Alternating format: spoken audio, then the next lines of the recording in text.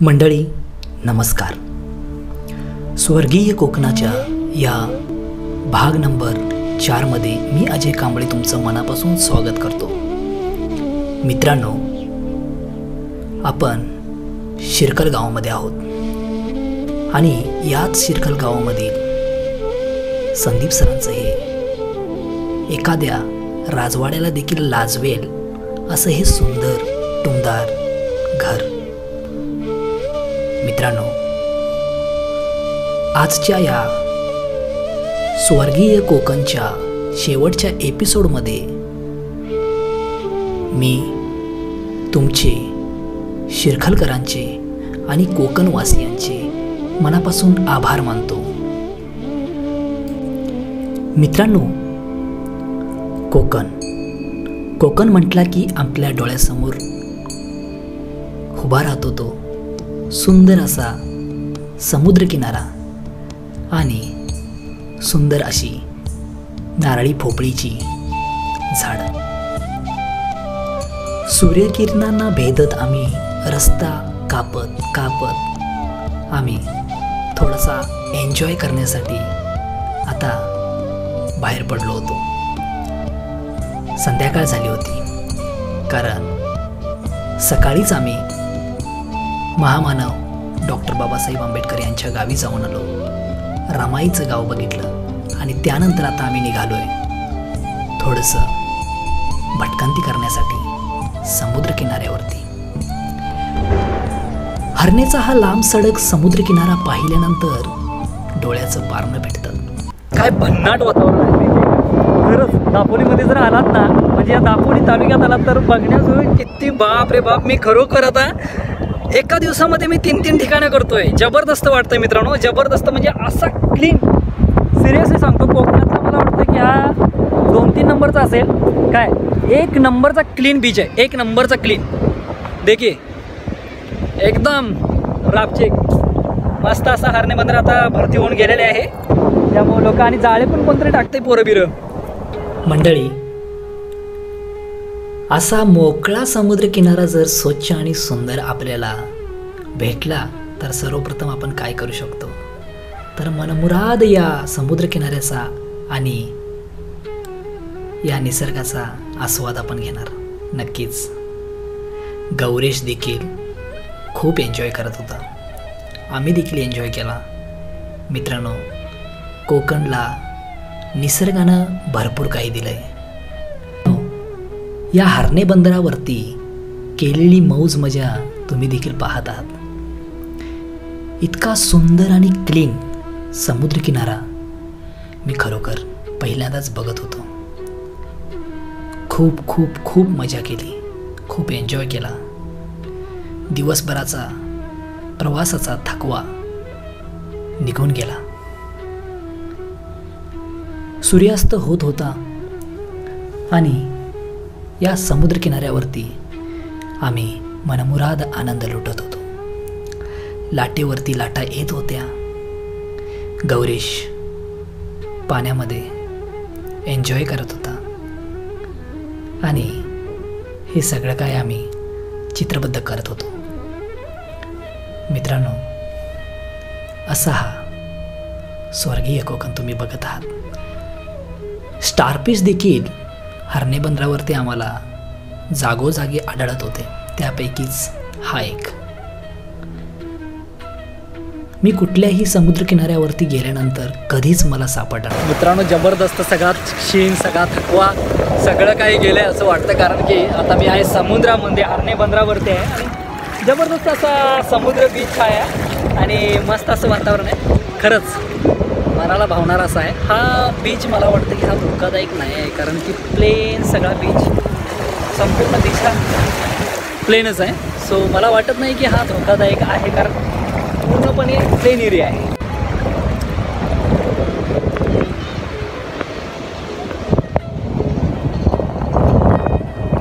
मित्रांनो आम्ही आता दापोलीमध्ये आलो होतो.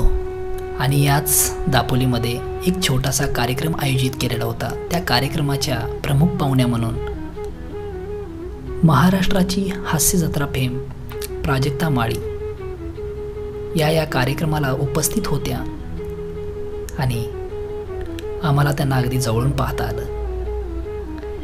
मित्रांनो कोकणातील ही सफर चालूच आहे आणि तुम्ही देखील माझ्या आजच्या या सफरीमध्ये आहात. नमस्कार मंडळी. अभिमान माझा महाराष्ट्र या माझ्या यूट्यूब चॅनलमध्ये मित्रांनो मी अजय कांबळे तुमचं या नवीन एपिसोडमध्ये आज शिरखल या गावातून स्वागत करतो पुन्हा एकदा. आणि आज आपण जात आहोत ज्यांच्या पदपर्शानं ही पाहून झालेली भूमी म्हणजेच श्यामची आई. श्यामच्या आईच्या घरी जाणार आहे. म्हणजेच साने गुरुजी. आपले साने गुरुजी.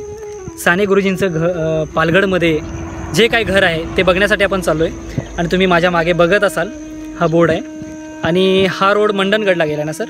हा माझ्या मागे जो रोड जातो आहे तो मंडणगडला जातो आहे आणि हा जातो आहे दापोली खेडला जातो आणि हा एक छोटासा रोड मधून गेला आहे हा रोड पालगडला जातो आहे म्हणजेच आपल्या साने गुरुजींच्या घरी. तर आपण जातो आहे आता साने गुरुजींच्या घरी. तर जाऊन आपण बघून येऊया आपले साने गुरुजी कसे राहायचे मंडळी. नमस्कार. लहानपणापासूनच श्यामची आई वाचली होती. आणि आज त्याच श्यामच्या आईला आणि त्यांच्या लेकराचं गाव बघण्यासाठी आज मी चाललो होतो. दापोली तालुक्यातील पालगडे गाव. साने गुरुजी. प्रत्येकाच्या हृदयामध्ये असलेले साने गुरुजी प्रत्येकाच्या शाळेच्या भिंतीवरती असलेले साने गुरुजी प्रत्येकाच्या हृदयामध्ये असलेले साने गुरुजी त्यांच्या गावामध्ये आज प्रवेश करतोय. मित्रांनो साने गुरुजींच्या नावाने असलेली ही शाळा आपण आता आहोत पालगड या गावामध्ये. सुंदर असा गाव आहे आणि आता आपण जातोय साने गुरुजींच्या स्मारकाकडे. नमस्कार. आणि मी आता पालगडमध्ये आहे. साने गुरुजींचं जिथं घर होतं साने गुरुजी स्मृती भवन म्हणून आहे. तिथं आता मी आहे. माझ्या मागे बघत असाल हे साने गुरुजींचं घर जिथं साने गुरुजी राहत होते. आणि ते स्मृती भवन म्हणून आहे आता सध्या. आता तुम्हाला मी आतून दाखवतो साने गुरुजींचं. गाव तर तुम्हाला दाखवलं शाळा देखील दाखवली. आता घर दाखवतो तुम्हाला मित्रांनो. इथं आल्यानंतर खरोखर धन्य वाटतं कारण की इतकी सारी ठिकाणं ह्या एपिसोडमध्ये फिरल्यानंतर मला काही गोष्टी जाणवल्या काही गोष्टी समजल्या ज्या मी तुम्हाला दाखवल्या. त्यापैकीच एक म्हणजे साने गुरुजींचं हे घर आता आपण बघूया.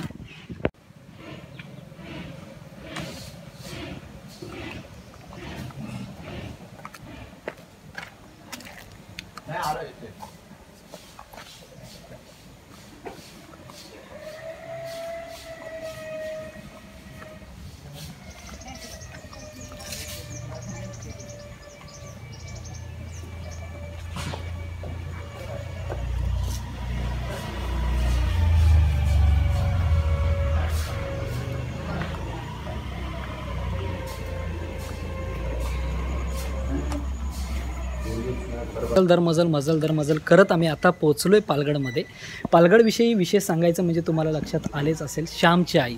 श्यामची आई म्हटल्यानंतर प्रकर्षानं जाणवतात ते आपले साने गुरुजी.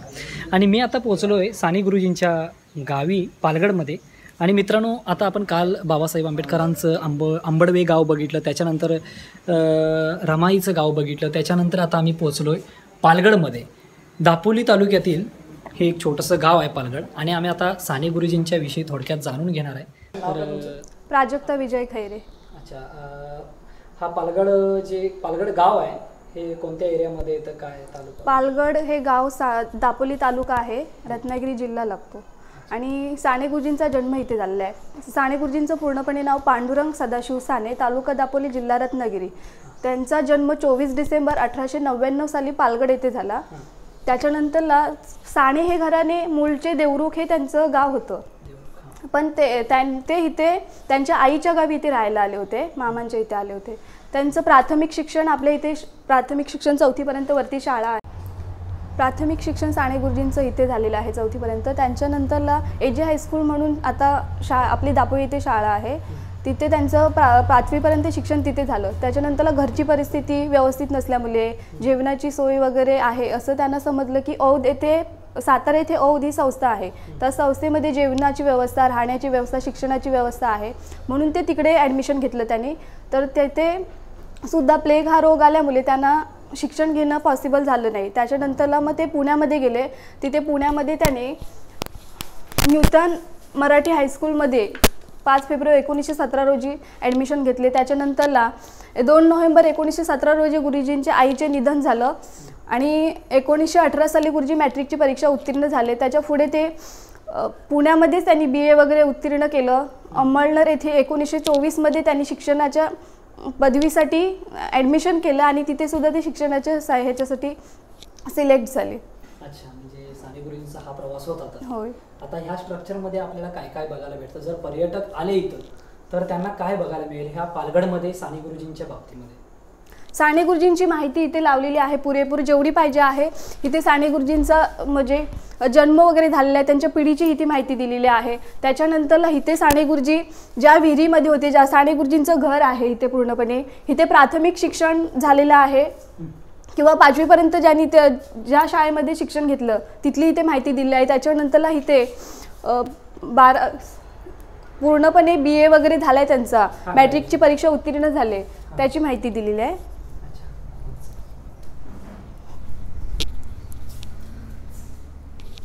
इथे साने गुरुजींचे वडील भाऊ यांची माहिती आहे. हां पूर्णपणे. हे बघा इथे अंमळनेर येथील खांडेश्वर शिक्षणासाठी त्यांनी रुजू झाले ना. त्याची माहिती दिलेली आहे. नंतरला साने गुरुजींनी विद्यार्थी मासिकाचे संपादन आणि चरित्र लेखन लिहिले. त्याची माहिती. मित्रांनो या ताईने आपल्याला पुरेपूर अशी माहिती या वास्तूबद्दल सांगितली. डोळ्यासमोर इतिहास जागा झाला. मित्रांनो आपल्या साने गुरुजींच्या संपूर्ण आठवणी या घरामध्ये आहेत. म्हणजेच प्रत्येक फोटोमध्ये प्रत्येक आठवण प्रत्येक प्रसंग प्रत्येक घटना इथं सांगण्यात आलेल्या आहे मित्रांनो तुम्ही नक्कीच एकदा या पालगडला ह्या वास्तूला भेट द्या. दापोलीपासून काही अंतरावर असलेलं हे पालगडी गाव. आपण फक्त पुस्तकामध्ये वाचलं होतं. साने गुरुजी यांचं गाव पालगड पण ते पालगड आहे कसं? निसर्गाच्या सानिध्यात वसलेलं आणि खरंच स्वर्गाहूनही सुंदर अशा कोकणामध्ये असलेलं हे पालगड आणि पालगडामध्येच असलेली ही महान व्यक्तीची वास्तू आज मी तुम्हाला दाखवण्याचा प्रयत्न करतोय मित्रांनो प्रत्येक प्रसंग बघताना प्रत्येक प्रसंग वाचताना आपल्या डोळ्यासमोर एक इतिहास जागा होतो. मित्रांनो आज हे तुम्हाला सर्व काही माझ्या नजरेतून दाखवताना धन्य झाल्यासारखं वाटतं. कारण की खरंच शब्द नाहीत या कोकणच्या सौंदर्याविषयी आणि या महान व्यक्तींविषयी. कालपासूनचा हा प्रवास चालू झाला होता मुंबई ते इथपर्यंत शिरखल या गावापर्यंत. आणि शिरखलमधून आज आपण साने गुरुजींच्या गावी गेलो पालगडमध्ये आणि ते देखील बघितलं. भरपूर जागा एक्सप्लोअर केल्या. बाबासाहेबांचं गाव बघितलं रमाईचं गाव बघितलं दापोली बघितली हरणे बंदर बघितलं. ह्या दोन दिवसामध्ये अतिशय चांगल्या पद्धतीनं मला काहीतरी एक्सप्लोअर करता आलं. ही सुट्टी माझी मार्गी लागली. आणि तुम्हाला काहीतरी मी चांगलं काहीतरी दाखवण्याचा प्रयत्न केला याचं मला समाधान होतं आहे पहिली गोष्ट म्हणजे. आणि माझ्यासोबत आहेत आमचे तर मित्रांनो ज्यांनी मला खरं सांगायचं म्हणजे ह्या अशा निसर्गरम्य वातावरणामध्ये हर एक प्रकारचे प्राणी पक्षी माणसं गुन्हा गोविदानं राहत असतात. आणि ही लाल परी आता मला पास करून गेली.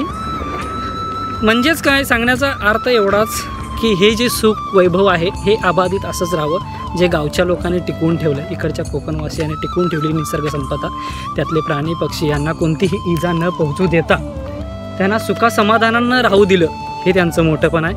आणि मित्रांनो आजच्या या माझ्या कोकणच्या ब्लॉगमध्ये तुमची रजा घेतो. जय हिंद जय महाराष्ट्र जय भीम जय शिवराय. मित्रांनो एपिसोडची सांगता करताना मन गहीवरून आलंय. मन भरून आलंय. कारण की सर्वप्रथम कोकणवासियांचे मनापासून आभार मानतो. आणि शिरकल गावच्या ग्रामस्थांचं संदीप सरांचं. आज त्यांच्यामुळेच माझं एक स्वप्न पूर्ण झालं की बाबासाहेबांचं मूळ गाव बघण्याचं दापोली तालुका फिरण्याचं खूप सारं अनुभवण्याचं. आणि संदीप सरांचे मामा आणि संदीप सरांच्या आई ज्यांनी खरंच आपलंसं केलं. मायेनं प्रेमानं खरोखर खूप साऱ्या गोष्टी दाखवल्या खूप साऱ्या गोष्टी अनुभवता आल्या. सगळ्यांचे मनापासून आभार. खरंच मित्रांनो शिरखल गाव खूप सुंदर आहे. दापोली तालुका अप्रतिम आहे आणि कोकण अविस्मरणीय आहे. अगदी मनापासून हृदयापासून सगळ्यांना सॅल्यूट जय हिंद. जय भारत. जय शिवराय.